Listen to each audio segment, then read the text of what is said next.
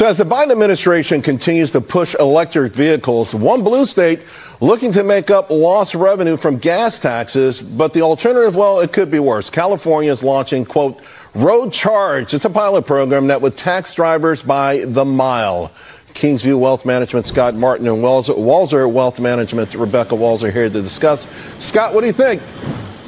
Surveillance, big brother, government keeping a closer eye on you, Mr. and Mrs. Driver. I mean, that's what this tells me, Charles. I guess the gas tax in California, roughly 150 a gallon and going higher, isn't getting the state enough money given the deficit they're running, so they want to add uh, this to the mix. And Charles, it just tells you one thing over and over again with regards to California and certainly the nation in general. The government thinks they know best. The government thinks that their workings and how they're going to work out some of the issues that they have deficit-wise are the ways that they're going to take control of us. And basically, that just taxes us more as they misspend more money. This isn't something I'm for of in any sense. You know, Rebecca, though, it just really seems like if you're someone who lives far off and you drive to a, a job at Walmart or a Dollar General, this is punitive. This is really some punitive. This is going to be punitive.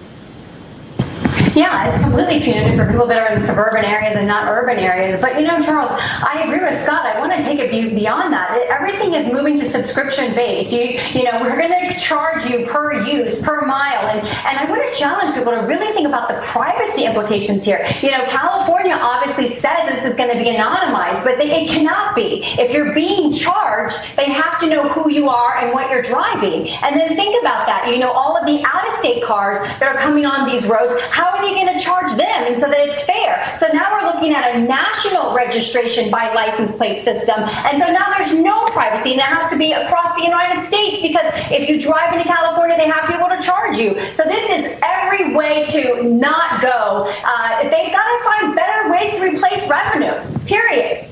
Yeah, or maybe stop spending, but we know, we know California will never, never do that.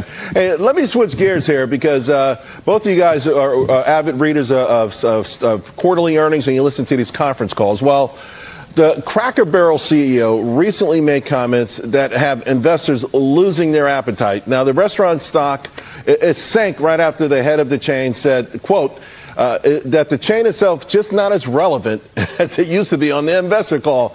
And, you know, Rebecca, I thought CEO stood for Chief Excitement Officer. I mean, this dude's like, he's like, he hates the tchotchkes. He's like, nobody wants the tchotchkes anymore. I think that it certainly should have been wordsmith a lot better and, and, and maybe like, uh, you know, focus group tested because it clearly was not received well. And, you know, Cracker Barrel is experiencing what a lot of people are, what a lot of restaurant chains are experiencing. We know some have declared bankruptcy recently, Red Lobster. But, you know, they are, they cater obviously to little older generation and they're saying that at least 10% of their older generation hasn't even returned post pandemic. And obviously they do need to get, branch out to Gen X, Gen Z, millennials, and they're really geared towards the the uh, the you know older generation. So hopefully they can. I don't want them to change. I love shopping for Christmas stuff. I love shopping for all the seasons. I love their down home country cooking.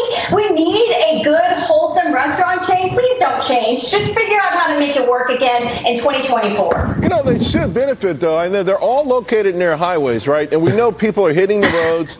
I mean, they, there's some natural benefits, Scott, that they have. But for the CEO to be so I, you know, it's just ridiculous. Uh, you know, I think that he needs more than just some simple wordsmithing. Maybe he needs to be shown the exit. hey, man, listen, don't call this guy dishonest, though. I think he's chief honest officer because I agree with him. Uh, have you been to a Cracker Barrel in the last five, ten years? They look the exact same, by the way, oh, that they did 20 sorry, years ago CEO, when my mom and dad went there. Is a woman. I'm sorry, I'm not saying he, That's great. Even she. she then. Even she then. Great. Of course, it's actually that's the woman being honest. How about that? Because that's exactly the problem here. She's being honest about the situation at the restaurant, which has not reinvented itself in the last 20 years. I mean, I'd rather go to Rax restaurants, which are now bankrupt and not even in existence, than go to Cracker Barrel because it's not even good food. Oh man, that's yeah, cold. Scott, don't you think we need a restaurant that has good, wholesome values in this decrepit moral decay of a country that we're living in right now? We need Cracker Barrel. What are you talking about? That's all I want in my fast food, Rebecca. But certainly you've got to make people want to go in there. If you look at the restaurant, we just showed a clip of it. I'm not walking in there as even a dead man. All right, so uh, maybe, maybe, maybe a little bit of a refresher, but I do agree with Rebecca. It's a nice, warm place, and you can get some down-home food. Maybe